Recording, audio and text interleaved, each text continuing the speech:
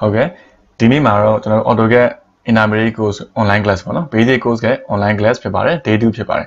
အဲ့တော့ပြီးခဲ့တဲ့ day 1မှာတော့ဘာတွေစခဲ့လဲဆိုတော့ AutoCAD နဲ့ပတ်သက်တဲ့ history ပေါ့နော် AutoCAD version တွေအကြောင်းနောက်တစ်ခု AutoCAD နဲ့ပတ်သက်တဲ့ interface တွေအကြောင်း application button တို့ title bar တို့ drawing area command box တွေပေါ့အကြောင်းပေါ့နော်ပြီးရင်အောက်က status bar အကြောင်း status bar မှာ customization လုပ်တဲ့အကြောင်းတွေပါမယ်နောက်တစ်ခုကကြတော့ AutoCAD ရဲ့ file type ၄မျိုးဖြစ်တဲ့ DWG တို့ DWT တို့ DWS တို့ DHF တို့ရဲ့အကြောင်းတွေပေါ့အဲ့တော့ကျွန်တော်တို့လက်ရှိ day 2မှာတော့ AutoCAD ရဲ့ option တွေကြောင်းသွားမယ် AutoCAD ရဲ့ command box တွေကြောင်းကျွန်တော်ဆက်ပြသွားကြည့်ကြအောင်ဟုတ်ကဲ့အဲ့တော့အရင်ဆုံးကျွန်တော်တို့စပြောရမှာက command ကြောင်းကိုကျွန်တော်နည်းနည်းလေးစပြောပေးမယ်နော် command ပြီးခဲ့တဲ့တစ်ခေါက်တော့ကကျွန်တော်တို့ဒီအောက်က command window ဆိုတာကိုသဘောတရားနည်းနည်းနားလည်တယ်အခု command သွားကြည့်အောင်နော်အဲ့တော့ command တွေမသိခင်မှာ AutoCAD ကိုကျွန်တော်တို့ကဘယ်လိုမျိုးအရာတွေသုံးပြီးတော့ဆွဲလို့ရတယ်ဆိုတာကိုတစ်ချက်ရှင်းပြပေးမယ် AutoCAD မှာ tools တွေရှိတယ် command ရှိတယ် okay tools ကိုစရှင်းပြပါမယ် tools ဆိုတာဘာလဲပေါ့ tools ဆိုတာကျွန်တော်တို့ရှေ့တစ်ပတ်မှာတော့ day 1မှာတော့သိခဲ့တဲ့အတိုင်းပဲဒီကောင်ကိုကျွန်တော်တို့ ribbon လို့ခေါ်တာပေါ့နော် ribbon ထဲမှာပါတဲ့ tab တွေရှိတယ် tab တစ်ခုချင်းစီထဲမှာ panel တွေရှိတယ် panel ရဲ့အကောင်ကျွန်တော်တို့ tools လို့ပြောပါတယ် အဲ့တော့ကျွန်တော်တို့က line တစ်ကြောင်းဆွဲကျင်တယ်ဆိုကြပါတော့ line တစ်ကြောင်းဆွဲကျင်တယ်ဆိုလို့ရှိရင် line က draw panel ထဲမှာရှိပါတယ် okay draw panel ထဲမှာကျွန်တော်ဆွဲကျင်တာ line ဖြစ်တဲ့အကြောင်းမလို့ line ဆိုတဲ့ tools ကိုယူပြီးတော့ click နှိပ်ပြီးတော့ AutoCAD မှာဆွဲလို့ရပါတယ်ဒါ line မှာဒါကနံပါတ်1ချက် tools ကိုသုံးပြီးဆွဲတာဖြစ်ပါတယ်နံပါတ်2ချက် command ဟုတ်ပြီကျွန်တော်တို့က line တစ်ကြောင်းတော့ဆွဲကျင်တယ်ဒါပေမဲ့ ဒီအပေါ်က ribbon တွေက tools တွေကိုကျွန်တော်တို့မသုံးချင်ဘူးဆိုလို့ရှိရင်နံပါတ်2သုံးလို့ရနီလန် command ရှိပါတယ် command ကိုကျွန်တော်ဘာမှရိုက်မလဲ command window နေရာမှာရိုက်ပါမယ်ဒါပေမဲ့ဒီနေရာမှာတော့စာစီဆိုင်ရိုက်လို့တို့လိုမျိုးပုံဆွဲနေနေစာရိုက်ချင်တယ်ဆိုလို့ရှိရင်တကူးတကကြီးဒီနေရာကိုသွားပြီးတော့ကာစာသွားချဖို့မလိုပါဘူးကျွန်တော်တို့ဆွဲလက်စအတိုင်းပဲစာရိုက်လို့ရှိရင်ရတယ်ကျွန်တော်တို့ခြိုက်သမျှစာတွေက command အနေနဲ့ command box ထဲမှာအလိုလျောက်ဝင်နေမှာဖြစ်ပါတယ် အဲ့တော့ကျွန်တော်ကဒီမှာတကူးတကကြီးရောင်ပြီးတော့ကာစာကိုသွားပြီးလိုက်မချနေတော့ပုံပုံမှန်ဆွဲနေကြအတိုင်းပါပဲစာရိုက်လိုက်မယ် line ဖြစ်ပါတယ် L I N E အော်ကျွန်တော်ရိုက်သမျှစာတွေအကုန်လုံးကအလိုတယောက် command window မှာတွားပြီးတော့ဝင်နေပါတယ် AutoCAD မှာဘာစာပဲရိုက်ရိုက်ဘလို့ပဲရိုက်ရိုက် input data အကုန်လုံးက command window ထဲကိုရောက်ပါတယ်တကူးတကကြီး mouse ကိုအဲ့ဒီနေရာမှာ click ချပြမလို့ပါဘူး okay L I N E line နဲ့ line ခောက်ပြီးသွားပြီဆိုလို့ရှိရင်ကျွန်တော် enter ချက်ခောက်ပါမယ်နော် line command သူ့ကိုကျွန်တော်တို့သတ်မှတ်ပါတယ် line enter keyboard ကနေပြီးတော့ enter တစ်ချက်နှိပ်ပါတယ် enter နှိပ်လိုက်လို့ရှိရင် line ဆိုတဲ့ command က AutoCAD ထဲကိုဝင်သွားပြီတော့ကျွန်တော်တို့စပြီးတော့ lower ချက်တွေစတောင်းပါပြီဘာလုပ်ရမလဲဆိုတော့ပထမဆုံးစလေ့ကျင့်တဲ့လူတွေအနေနဲ့ကျွန်တော်တို့ကဒီ AutoCAD ရဲ့ command box ကိုအများနဲ့ဖတ်ကြည့်ပေးဖို့လိုပါတယ်ကျွန်တော် command တစ်ခုဝင်လိုက်ပြီးသူဘာတောင်းလဲပေါ့ command တော့ဝင်သွားပြီ ကျွန်တော်တို့လက်ရှိတောင်းနေတာက specify first point နဲ့ okay line အကြောင်းဆွဲတော့မှဆိုလို့ရှိရင် line ရဲ့ first point ပြပါတယ်အဲ့တော့ကျွန်တော်တို့ mouse နဲ့ပဲတနေရာမှာ click ပြလိုက်တယ်ဒါ first point ဆက်တောင်းပါတယ် next point ပေါ့နော်နောက်တစ် point နောက် point line တွေကိုကျွန်တော်ဒါမျိုး click ချပြီးတော့ဆွဲသွားလို့ရပါတယ် Okay ကျွန်တော် line တွေဆက်မဆွဲချင်တော့ဘူးကျွန်တော် line တွေကိုအဆုံးသတ်ချင်တယ်ဒါမှမဟုတ် line တွေကိုဆက်ပြီးတော့အသုံးမပြုချင်တော့ဘူးဆိုလို့ရှိရင် keyboard ကနေပြီးတော့ enter တစ်ချက်ခေါက်လို့ရပါတယ် enter အဲ့တော့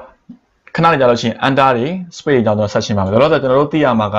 AutoCAD မှာ data လုံးလို့ရတာကပုံတွေကိုဆွဲလို့ရတာ data input ကနှစ်ခုရှိပါတယ်ပထမတစ်ခုကကျတော့ tools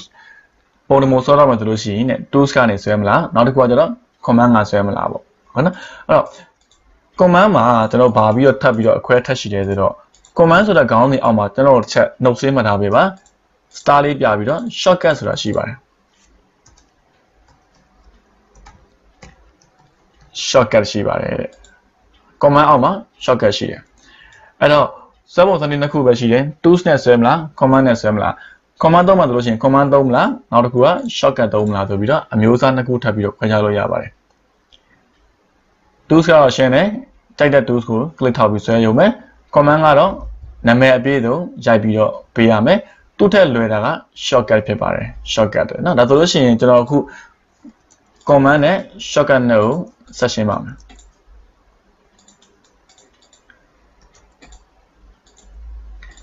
Okay line L I N E line line ဆိုတော့ command ကိုကျွန်တော်တို့အလွယ်တကူသုံးမှဆိုလို့ရှိရင် shortcut နဲ့သုံးမှ L လို့သုံးလို့ရပါတယ်တဲ့။ L ပေါ့နော်။ဘာကြောင့် shortcut ထားတာပေးရလဲဆိုတော့ပုံတစ်ခါတစ်ခါဆွဲတိုင်းမှာကျွန်တော်တို့ command နဲ့တောင်းမှဆိုလို့ရှိရင် command နာမည်ကအရင်ရှိပါတယ်။ဥပမာ line ကြောင်းဆက်မှဆိုလို့ရှိရင် line မဆွဲခင်မှာ l i n e လို့ခောက်ကြတယ်။ enter ခောက်ကြတယ်။ဆွဲရတယ်။ circle ဆက်မှဆိုလို့ရှိရင် c i r c l e ဆိုပြီးတော့အပြည့်စုံရိုက်ကြတယ်။ circle ဆွဲရတယ်။ polyline တို့အဲ့တော့ဘာပြဿနာရှိလဲဆိုတော့တကယ်လို့ကျွန်တော်တို့ပုံဆွဲနေတဲ့ command တွေကိုသာနာမည်အပြည့်စုံရိုက်နေရမယ်ဆိုလို့ရှိရင်ကျွန်တော်တို့အလုပ်မပြီးတော့ဘူးအဲ့ဒီအတွက်သူ့ရဲ့အမြန်ဆုံးနည်းလမ်းဖြစ်တဲ့ shortcut ကိုရိုက်ကြတာပိုအဆင်ပြေတယ် line ဆွဲမယ်ဆိုလို့ရှိရင်ကျွန်တော်တို့က line လို့ရိုက်နေမယ်အစား l under ခေါက်မယ်ဆိုရင်အတူတူပါပဲတဲ့ circle ဆွဲမယ်ဆိုလို့ရှိရင် circle လို့ရိုက်နေမယ်အစား c under ခေါက်မယ်ဆိုလို့ရှိရင်လည်းအတူတူပါပဲတဲ့သူကဆိုတော့တကယ်သာအလုပ်လုပ်မယ်ဆိုလို့ရှိရင် command မသူမှမရိုက်ပါဘူး shortcut ပဲသုံးမှများပါတယ် okay ဒါဆိုရင်ကျွန်တော်ဒီနေ့မှာကျွန်တော်ပြန်ပြောပြရမှာက notes နဲ့ပြန်မှတ်မယ် AutoCAD ဆွဲတဲ့အခါမှာအခြေခံအပြင် tools ကဆွဲလို့ရတယ် command ပေးပြီးဆွဲလို့ရတယ် ဒါပေမဲ့ကျွန်တော် command ကိုတစ်ချက်ကြော်လိုက်မယ် shortcut ကိုသုံးမယ်ဟုတ်ပြီနော်ဒါဆိုရင်တချို့နေရာမှာ tools ကဆွဲမယ်တချို့နေရာမှာ shortcut ကဆွဲမယ်ကျွန်တော်ကတော့ shortcut ကိုအားသန်တယ်တချို့လူတွေကကြတော့ tools ကအားသန်တယ်ဆိုလိုချင်တာက AutoCAD ကို design မမတ်မလုပ်ဘူး AutoCAD ကိုအရန်တစ်ခုအနေနဲ့ပဲသုံးတဲ့လူတွေအတွက်ဆိုလို့ရှိရင်တော့ AutoCAD command တွေကိုသူတို့ကတကူးတကကြီး use to မဖြစ်တော့ပိတ်မမှတ်မိတော့ဘူးအခါကျလို့ရှိရင်သူတို့က tools ကနေပဲရှာပြီးတော့သုံးကြတာများတယ် command မဆရာမလို့တော့ဘူးပေါ့ ဟုတ်ပြီနော်အာကျွန်တော်တို့ AutoCAD ကိုအများကြီးသုံးနေကြလူတွေဆိုလို့ရှိရင်တော့ shortcut ကိုသုံးရတာပို့ပြီးတော့အဆင်ပြေတယ်ကျွန်တော်ရဲ့စာအုပ်လေးထဲမှာလည်းကျွန်တော်အောက်မှာ shortcut ဆိုတာလေးကျွန်တော်ပေးထားပေးပါတယ်နော် draw နဲ့ modify command တွေဒီဘက်ချမ်း shortcut ပေါ့ဟာအဲ့တော့ဒါတွေက basis level မှာသုံးတဲ့အသုံးဝင်တဲ့အများဆုံး command ဖြစ်ပါတယ်ဥပမာ line ဆိုလို့ရှိရင်ကျွန်တော်တို့ L လို့ရိုက်ခါလို့ရှိရင်ရတယ် circle ဆိုလို့ရှိရင် C လို့ရိုက်လို့ရှိရင်ရပါတယ်သူကဟုတ်နော် များသောအားဖြင့် command တစ်ခုရဲ့ပထမဦးဆုံးစလုံးတစ်လုံးမှာသူ့ရဲ့ shortcut ဖြစ်ပါတယ် circle စလုံးတစ်လုံးက C ဒါဆိုရင်ကျွန်တော် shortcut အနေနဲ့ C လို့သုံးလို့ရတယ် rectangle REC ဖြစ်သွားတယ် okay ဒီနေရာမှာကျွန်တော်မေးခွန်းထုတ်စရာရှိတယ်ဘာကြောင့် R မဖြစ်တာလဲပေါ့နော် AutoCAD မှာ R ဆိုတဲ့ command ကအရင်တည်းကရှိပါတယ် redraw ဖြစ်ပါတယ်နော်ဒါဆိုလို့ရှိရင် R မရဘူး R တခြား command တစ်ခုဖြစ်တယ်ဆိုတော့ RE ရော RE ဆိုတာ region ဖြစ်ပါတယ်သူ့မှာဆိုလိုချင်တာကတခြား command နာမည်တူရှိတယ်ပေါ့ဒါဆိုရင်ကျွန်တော် R လည်းမရဘူးဗျာ RE လည်းမရနောက်သုံးလုံးသုံးလုံးဖြစ်မဲ့ REC ဒါဆိုလို့ရှိရင်တော့ REC ဆိုလို့ရှိရင်တော့ရပါတယ်ဟုတ်ပြီနော်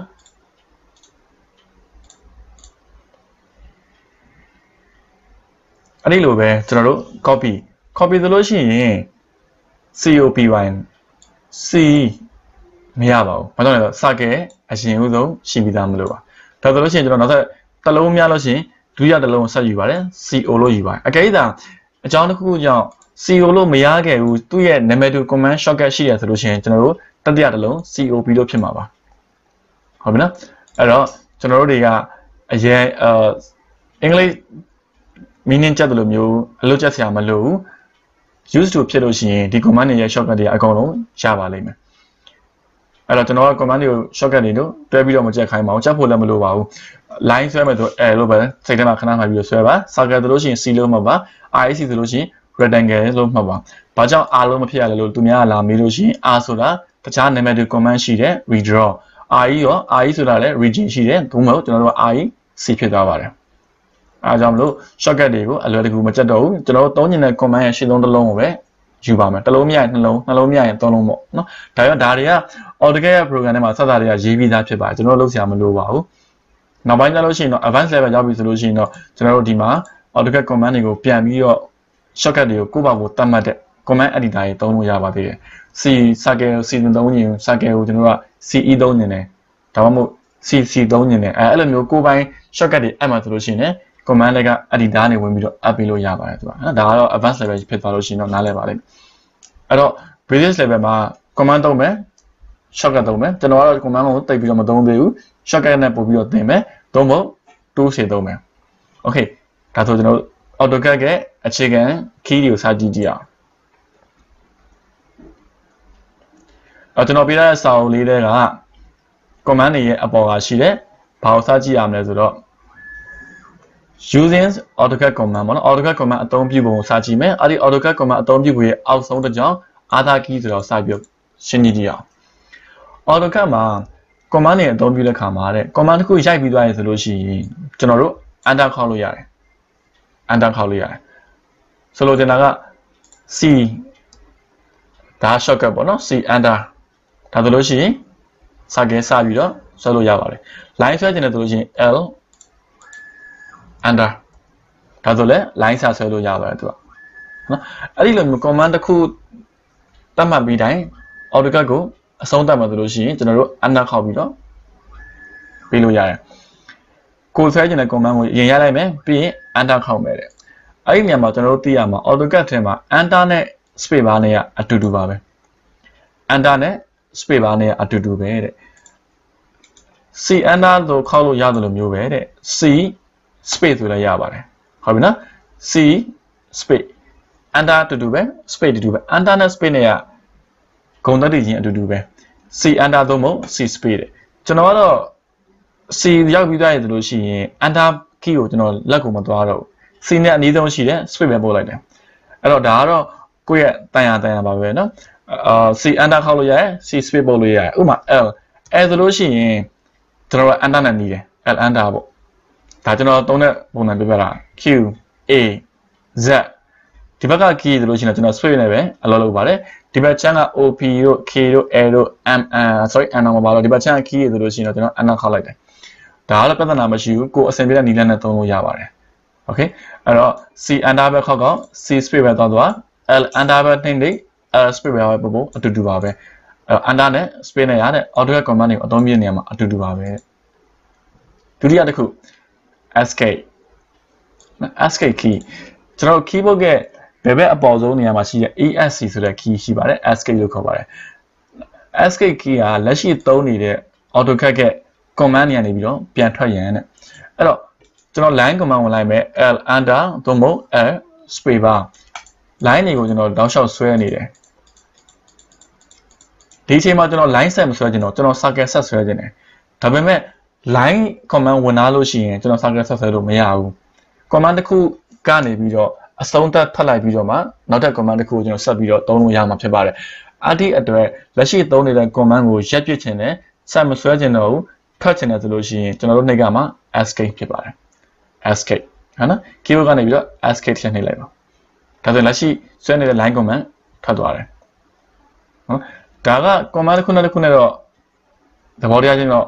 တိတ်မတူဘူးဥပမာ circle c under ကျွန်တော်ဆွဲလိုက်တယ် circle ဆိုတဲ့သဘောတရား circle ဆွဲပြီးသွားပြီဆိုတာနဲ့အလိုလျောက် command ကနေပြီးတော့ထွက်ပြီးသားပဲ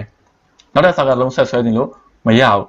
ဆက်ဆွဲမှဆိုလို့ရှိရင်နောက်တစ်ခါ command တစ်ခု c enter ထပ်ပြီးတော့ထပ်ဝင်มาဆွဲလို့ရမှာ line ကတော့အဲ့လိုမဟုတ်ဘူးတခါတည်းဆွဲတယ်ဆွဲတယ်ကျွန်တော် command ကမထွက်မချင်းဆက်ဆွဲနေဦးမှာပဲ command ကထွက်မယ် escape circle ရအဲ့လိုမဟုတ်ဘူးတလုံးဆွဲပြီးသွားပြီဆိုတာနဲ့ command ကအလိုလျောက်ထွက်သွားတယ်ပေါ့နော်အဲ့လိုထွက်တဲ့ command မျိုးကြလို့ရှိရင်တော့ escape key ကိုတကူတကနှိပ်စရာ မလိုတော့ဘူး continuous ဖြစ်နေမဲ့ command တွေဆိုလို့ရှိရင်တော့ escape key နဲ့ထွက်ပေးမယ်တစ်ခါဆွဲပြီးသွားပြီဗျာနောက်တစ်ခါမလိုတော့ဘူးဆိုလို့ရှိရင်တော့ escape key သုံးရမလိုတော့ပါဘူးသူကဟုတ်ပြီနော်ဒါက AutoCAD သုံးလို့ရှိရင် other key ကိုလည်းကျွန်တော်တို့အများကြီးသုံးပေးရမယ် space bar သုံးဖို့ enter သုံးဖို့ escape နောက်တစ်ခု keyboard ကနေပြီးတော့ up down arrow key တဲ့ဟုတ်နော် up down arrow key ဆိုတာကကျွန်တော် keyboard ရဲ့ number pad နဲ့ keyboard နဲ့ဂျားအောက်ကမြားလေးပါအပေါ်အောက်ပေါ့နော် အပေါ်အောက်ပြတယ်ဘယ်ညာပြတာရှိတယ်ဒီမှာတော့ကျွန်တော်ဘယ်ညာအောင်မသုံးပါနဲ့အပေါ်အောက်ပဲသုံးမယ်ပေါ့နော်အပေါ်အောက်မြားကုန်ကြတော့သူက recent command ကိုပြောတာပါ recent command ခုနလေးကမှကျွန်တော်တို့သုံးလိုက်တဲ့ကျွန်တော်တို့သုံးခဲ့သော command တွေကိုပြန်ခေါ်မှလို့ရှိရင် recent command တို့မို့ up down arrow key နဲ့ပြန်သွားလို့ရတယ်ဥပမာကျွန်တော်ခုနက line ဆွဲခဲ့တယ် circle ဆွဲခဲ့တယ်ဟုတ်ပြီနော်ဒါဆိုရင်ကျွန်တော် keyboard ကနေပြီးတော့အပေါ်မြားလေးပေါ့ up တော့နော် up arrow လေးကိုကျွန်တော် check click လိုက်တယ် command box ကိုချက်ကြည့်ရပြီပါ up arrow နဲ့လိုက်တယ် circle ပေါ်လာတယ်ထပ်နှိပ်ကြည့်မယ် up arrow line နှိပ်ကြည့်မယ် rectangle erase ဒါကျွန်တော်ခုနကဖြတ်ခဲ့တာ哦 up key ကိုနေမနော်ဒါမျိုးတွေပေါ့ကျွန်တော် previous command ပေါ့ကျွန်တော်ရှေ့မှာ3မီတာ3မီတာ3မီတာ command တွေကိုဒီကနေပြီး up down arrow key နဲ့ပြန်သွားလို့ရသေးတယ်ကိုရှေ့မှာဘယ် command သုံးရလဲပေါ့ဒါမှမဟုတ်ခုနသုံးခဲ့တဲ့ command ကိုပြန်သုံးနေတယ်ဆိုလို့ရှိရင်ဒီကနေပြီးတော့တွားလို့ရတယ် okay line ပြန်ထည့်မှဆိုလို့ရှိရင် line ကိုတွားမယ် ပြီးရင် under ဆက်နေလိုက်မယ်ပေါ့နော် under ဒါမှမဟုတ် space သွားလည်းရပါတယ် under ခေါက်လိုက်ဒါဆိုရင် line command ပြန်ဝင်သွားပြီ command ထပ်မှဆိုရင် escape ဒါလည်းရပါတယ်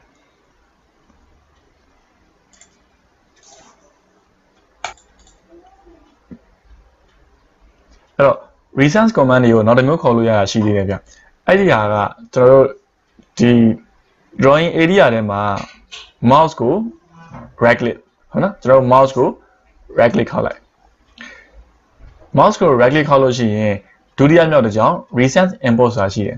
recent import ဆိုတာကျွန်တော်ခုနကသုံးလိုက်တဲ့ command ပေါ့နော်ကျွန်တော်ရှေ့မှာတောက်လျှောက်သုံးခဲ့တဲ့ command တွေဒီမှာပြန်ပြီးတော့ဖော်လို့ရပါတယ် recent recent import ခုနက up arrow key down arrow key နဲ့အတူတူပါပဲဒီကနေသွားပြီးရွေးခြင်းလဲရတယ် circle ဆွဲနေတယ်လို့ရှိရင် circle command မရိုက်တော့ဘူး recent import ကနေပြီးတော့ circle နှိပ်ပြီးတော့ပြန်ဆွဲလို့လဲရသေးတယ်သူက okay ဒါက AutoCAD ရဲ့ other key ကိုကျွန်တော်ပြောလိုက်တာပေါ့နော် space bar ရမယ် escape up down arrow key ဒါလေးတွေကိုပြန်ပြီးတော့ notes နဲ့မှတ်စရာရှိတာမှတ်ထားပြီးတော့ပြန်ပြီးတော့ practice လုပ်ပေးပါဦးနော်ဒါကတော့ဘုဟုတုတာပါ AutoCAD ရဲ့ပတ်သက်တဲ့ command တွေအကြောင်းပေါ့နော် AutoCAD မှာ command အမျိုးအစားနှစ်ခုရှိတယ်ဗျာသူက standard command ရှိတယ် system variable ဆိုတဲ့ command ရှိတယ်အဲ့တော့ဒီမှာကတော့အရန်ရှင်းပြသိပြီးတော့မလိုသေးဘူး standard command ဆိုတာကျွန်တော်ပုံမှန်အသုံးပြုပြုနေတဲ့ command ကိုပြောတာပုံနေဆွဲတယ်ဖြတ်တယ်တောက်တယ်ပိုင်းတယ် device တွေလုတ်တယ် failure တွေချိုးတယ်ဆက်တယ်ဒါမျိုးတွေပေါ့နော်အဲ့လိုပုံမှန်သုံးနေကြ command တွေက standard command နဲ့ system variable command ဆိုတာကပုံဆွဲဖို့အတွက်မဟုတ်ဘူး command တော့ command ပဲဒါပေမဲ့ AutoCAD ရဲ့ setting ကိုတွားပြီးတော့ပြင်တဲ့ command okay AutoCAD setting ကိုသွားပြီးတော့ပြင်တဲ့ command system variable command တွေကပုံဆွဲစရာ မလိုဘူးပုံဆွဲလို့လည်းမရအောင် C under တို့ L under တို့ဆိုတာကပုံမှန် standard command system ကိုပြင်တဲ့ command တွေကိုကျွန်တော်တို့ system variable command လို့ခေါ်တယ်ဥပမာ start up ဒါကနောက်ပိုင်းမှာကျွန်တော် session ပြမယ်နော် command လေးတစ်ခုရှိပါတယ် start up start up start up under တဲ့ okay step up under ခေါက်လိုက်လို့ရှိရင်သူကကျွန်တော်တို့ပုံပေးမဆွဲဘူးသူ့ရဲ့ new value ပဲတောင်းတယ်0လား1လားတဲ့ဟုတ်မလားသူ့ရဲ့ system command 0ထားမလား1ထားမလားဒါမျိုး mirror test command လိုမျိုးပေါ့နော်ပုံဆွဲဖို့တက်မဟုတ်ဘူး AutoCAD ရဲ့ system ကိုပြင်ပေးတော့ command လိုပဲကျွန်တော်တို့အလွယ်တကူမှတ်ထားပေးပါအောင်အဲဒီအတွက် AutoCAD မှာ command မျိုးစားဘယ်နှခုရှိလဲလို့မေးလို့ရှိရင်ကျွန်တော်တို့သိရမှာနှစ်မျိုးရှိတယ် standard command ရှိတယ် system variable command ရှိတယ် standard command က ပုံမှန်အသုံးပြုနေကြ command လို့ဖြေမယ် system variable ကကျတော့ပုံဆွဲဖို့တက်မဟုတ်ဘူး AutoCAD ရဲ့ setting ကိုဝင်ပြင်တော့ command သူ့ရဲ့တန်ဖိုးက0 1ချိုးကြတော့2 3ပေါ့နော်အာသာကီဒါသိပြီးသားပဲဒါဆိုကျွန်တော် AutoCAD နဲ့ပတ်သက်တဲ့ usage လေးတော်တော်များများတော့သဘောပေါက်မှာပေါ့နော်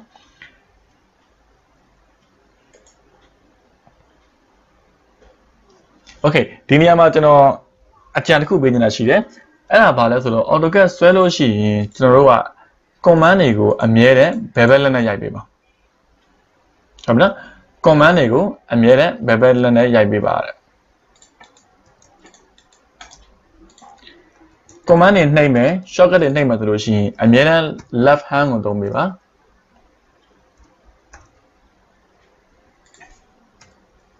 ဘယ်ဘက်လက်ကိုပဲသုံးမယ်ဟုတ်မလား mouse ကိုကိုင်မယ်ဆိုလို့ရှိရင် right hand ပဲသုံးမယ်ညာဘက်ပဲသုံးမယ်တချို့အဖြစ်တတ်တာကဥပမာစာကယ်ရိုက်ချင်တယ်ဆိုလို့ရှိရင်ညာဘက် mouse ကိုင်တဲ့လက်ကိုပါလွှတ်လိုက်ပြီးတော့ CIR CLE ဆိုပြီးတော့ခောက်တတ်ကြပါတယ်အဲ့တော့အဲ့ဒါကအဆင်မပြေပါဘူးတကယ်တမ်းကြလို့ရှိရင် practice လုပ်ရမှာကဘယ်ဘက်လက်တစ်ဖက်တည်းနဲ့ပဲ command တွေကိုရိုက်တတ်အောင်ကြိုးစားမယ်နောက်ဆုံးတန်မိုးတွေ data သွင်းတာအစဥပမာ10 100 11.2 ဘယ်လိုပဲကိန်းကိန်းနဲ့ဖြစ်ဖြစ်ကျွန်တော်တို့က left hand ကိုပဲသုံးပြီးတော့ပဲ practice လုပ်ပေးပါကြာရင်ကြာလေးတွေပြဿနာမရှိဘူး right ကိုတော့ mouse ပုံမှာအမြဲတမ်းတင်ထားပေးဟုတ်ပြီနော်အဲ့တော့ရောင်ပြီးတော့ mouse ကိုလှုပ်ပြီးတော့တန်မိုးတွေကိုစိုက်ဆိုင်လေးတို့လိုမျိုး left and right နဲ့တွဲပြီးတော့ typing ရိုက်တာမျိုးမလုပ်ပါသေးနဲ့ဒီကောင်ကကျွန်တော်တို့တကယ်ကြရင်အဆင်မပြေဘူးအဲ့ဒီအတွက်အခု practice လုပ်မယ်ဆိုကြတဲ့ကိုက left hand နဲ့ပဲသွားမယ် right hand ကို mouse ကိုမလှုပ်ရဘူး mouse ကိုတင်ထားပေးမယ်နော် ဘယ်ဘက်နဲ့ပဲကိန်းကိန်းနဲ့ကော shortcut ကော under ရော space ရောအကောင်လုံးပြီးအောင်လို့ practice လုပ်သွားပေးပါဦးเนาะကြာရင်ကြာမယ်ဒါပေမဲ့ဖြည်းဖြည်းချင်းလုပ်သွားဒါဆိုရင်ကျွန်တော်တို့တက်ကအဆင်ပြေပါလိမ့်မယ်ဖြည်းဖြည်းနဲ့ typing ရရတာ lab တစ်ခုတည်းနဲ့အဆင်ပြေပါလိမ့်မယ်เนาะ AutoCAD သုံးမှဆိုလို့ရှိရင်အဲ့ဒီအကျင့်လေးတော့တစ်ချက်လုပ်ထားပေးပါဦး Okay ဒါဆိုကျွန်တော်တို့အပေါ်ဆုံးပြန်တက်ရအောင် AutoCAD က drawing background နဲ့ background စချိန်တော့မယ်ပေါ့နော်စကြည့်ကြည့်အောင် AutoCAD drawing background နဲ့ကျွန်တော်တို့အခုဆွဲနေတဲ့ AutoCAD အယောင်ကအမဲရောင်ကြီးပြနောက်ခံအယောင်ကအမဲရောင်အမဲရောင်ဆိုတော့ကျွန်တော်တို့ကတချို့ကအဆင်မပြေဘူးတဲ့နောက်တချို့ကအဆင်ပြေတယ်ဒါကတော့ user စိတ်ကြိုက်ပဲကိုသုံးတဲ့အခါမှာအဆင်ပြေလားမပြေရင်ပြောင်းပြပေါ့နော်ဒါပေမဲ့ပြောင်းတဲ့နည်းလမ်းကိုသိရမယ်ပြောင်းတဲ့နည်းလမ်းကနံပါတ်1ချက် option ခေါ်ပါတဲ့ဟုတ်ပြီနော်ကျွန်တော်ရေးပေးထားတဲ့ option option ကို shortcut ပေးထားတဲ့ OP တဲ့ဟုတ်ပြီ OP OP ဆိုတာက option ရဲ့ shortcut ဖြစ်ပါတယ်နော် option shortcut မရိုက်ချင်လို့ option ရဲ့ command အပြည့်စုံ option လို့ရိုက်မယ်ဆိုလည်းရတယ်ဒါမှကျွန်တော်နောက်ပိုင်းကျလို့ရှိရင် shortcut နဲ့မပြောမယ် OP enter အဲ့တော့ OP enter လို့ခေါက်ကြည့်ကြည့်အောင် OP enter OP enter ဆိုလို့ရှိရင် AutoCAD ရဲ့ option dialog box ကြာပါတယ်ဟုတ်ပြီနော်ဒါမျိုးလေးတွေပွင့်လာတော့ dialog box လို့ခေါ်ပါတယ်ဟုတ်နော်အဲ့တော့ OP enter အဲဒါမျိုးလေးပွင့်လာတာမျိုးနော်အဲ့လိုမျိုး box လေးပွင့်လာတာကိုကျွန်တော်တို့ dialog box လို့ခေါ်တယ်ဒါက AutoCAD ရဲ့ option ခေါ်တယ် OP လို့မခေါ်ချင်လို့ရှိရင်ကျွန်တော်တို့ mouse ကို AutoCAD ရဲ့ drawing area လေးကိုလွတ်တဲ့နေရာမှာ right click okay mouse ကိုလွတ်တဲ့နေရာမှာ right click ဟိုးအောက်ဆုံးမှာ option ရှိတယ်။တနည်းအားဖြင့် right click option ပေါ့နော် right click option ခေါ်ချင်လည်းရတယ် OP enter လို့ခေါ်ချင်လည်းရတယ် option ခေါ်လိုက်လို့ရှိရင်ဒီမှာ tab လေးတွေအများကြီးပဲ day 1မှာအရင်ကြီးမကြည့်ပါနဲ့ sorry day 2မှာအရင်ကြီးမကြည့်ပါနဲ့ခေါင်းလေးရှုပ်တခုမှာဆိုလို့ကျွန်တော်တို့ပြောရနေနေသွားရအောင် option ဘောက်ကြာလာပြီဆိုလို့ရှိရင်ဒီဘယ်သွားမလဲဆိုတော့ display ကိုသွားပါတယ် display okay option ဘောက်ကြာပြီဆိုလိုက်ရှာမယ် file ဟောဒီမှာတွေ့ပြီ display display တော့ဝင်ပါတယ် okay ရပြီ display ဆက်ကြည့်မယ် option တွေကမှာ display display တွေကမှာ color color tab ကိုတော့ပါလိုက်ရှာကြည့်အောင် option တွေကမှာ display display တွေကမှာ color ရှာမယ်တွေ့ပြီ color နဲ့ font အမျိုးအစားနှစ်ခုရှိတယ်ကျွန်တော်တို့ color ပဲရွေးမယ်ပေါ့နော် color ဝင်မယ်ဆို color လေးဝင်လိုက်မယ်ဒါပေမဲ့ဘာထပ်ပွင့်လာလဲ drawing window color dialog box ဒါကိုကျွန်တော်တို့က dialog box လို့ခေါ်ပါတယ်နော် color ရဲ့ dialog box ပွင့်လာပြီဘယ်ထက်သွားမလဲဆိုတော့ 2D model space ရဲ့ uniform background change ပြမယ် black okay content နေရာမှာ 2D model space interface element နေရာမှာ uniform background 2D model space ရဲ့ uniform background ကို color ကိုကျွန်တော်တို့လိုတဲ့ color ချင်းလို့ရပါတယ်ဒီမှာကျွန်တော်အမဲပြောင်းပြီးသားမလို့ black လို့ဖြစ်နေတာပါအကယ်၍အဖြူပြောင်းနေတယ်ရတယ် white ဟုတ်ကဲ့နော်ပြောင်းကြည့်ကြည့်အောင်ပြီးသွားရင် apply and close နှိပ်မယ် okay ပေါ့ ဒါဆိုကျွန်တော်တို့ရဲ့ AutoCAD ရဲ့ဆွဲနေတဲ့ drawing area ကြီးက background အဖြစ်ဖြစ်သွားတယ်ပေါ့ဟုတ်ပြီဒီနေရာမှာကျွန်တော်တို့က background ကိုအဖြူအောင်ကျွန်တော်ကတော့မထားသေးချင်ဘူးဟုတ်ပြီနော်ဒါတချို့ကတော့အဖြူထားပေးသုံးတယ်မှားတယ်လို့ကျွန်တော်မပြောပါဘူးဒါပေမဲ့ဘာကြောင့်လဲဆိုတော့ကျွန်တော်တို့ AutoCAD ဆွဲတဲ့အခါမှာအယောင်လေးနဲ့ဆွဲရတာဗျဘယ်သူမှတယောင်နဲ့မဆွဲဘူးအနီရောင်အပြာရောင်စိမ်းရောင် color လေးခွဲပြီးတော့ဆွဲတယ်အဲ့တော့ background အဖြူဖြစ်သလိုရှိရင် အရင် bright ဖြစ်တဲ့အရောင်တွေဥပမာ yellow အဝါရောင်ဆိုကြပါစို့အဝါရောင် object ဆိုလို့ရှိရင်ကျွန်တော်ကတော့မမြင်တတ်ဘူးဟုတ်ကဲ့နော်ကျန်တဲ့အရောင်ပြဿနာမရှိဘူးဗျာဥပမာအနီရောင်ဒါပေမဲ့ကျွန်တော်အနေထားရသလိုရှိရင်တော့ကျွန်တော်မျက်လုံးရသလိုရှိရင်တော့ကျွန်တော်ဒီအဝါရောင်ကအနောက်ခံအဖြူနဲ့ဆိုလို့ရှိရင်ကျွန်တော်မနေ့အားထိုက်ပြီးတော့ကြည့်ရတယ်ရုပ်ရက်ဆိုရင်ကျွန်တော်မမြင်ဘူးပျောက်နေဒါကျွန်တော်ကိုယ်ပိုင်မျက်လုံးကြောင့်လည်းဖြစ်ကောင်းဖြစ်မှာပေါ့နော်အဲအကြောင်းမို့ကျွန်တော်ကတော့ ဘာရောင်မဲလာတာတော်တော်ပဲဖြတ်သွားအောင်လို့ကျွန်တော်နောက်ခံ background ရောင် black နဲ့ဆွဲတယ် okay အဲ့တော့ခင်ဗျားတို့လည်းစိတ်ကြိုက် color ဆွဲလို့ရတယ်ဘယ်လိုပြင်ရမလဲဆိုတော့ option ခေါ်ရမယ် option တွေရမှာ display ကိုသွားမယ် display တွေရမှာ color ကိုဝင်မယ် color တွေရမှာ 2D model space ရဲ့ uniform background ကိုပြင်လိုက်မယ် black လုံးဝအမဲအောင်သီးသန့်မထားခြင်းဘူးဆိုလို့ရှိရင်အောက်မှာ select color လေးရှိတယ် select color လေးကိုတစ်ချက်ကလစ်မယ်အဲ့ဒီထဲမှာကျွန်တော်တို့ဒီဒီဘက်ချမ်းက color box နေရာမှာအတိုးလျှော့အရောင်လေးကိုနည်းနည်းလေးကစားလို့ရပါတယ်နော်သူရဲ့အယောင်အပြင်းအားပေါ့အပြင်းဖြော့နည်းနည်းကစားလို့ရတယ်လုံးဝအမဲအောင်စစ်စစ်ကြီးမထားခြင်းဆိုဒီမှာပြင်လို့ရပါတယ်ပြီးသွားရင် okay ဘာနဲ့ထပ်မလဲ apply and close ပြီးတော့ okay ဒါမျိုးပေါ့ဒါဆိုကျွန်တော်တို့ background ပြောင်းလို့ရပါတယ်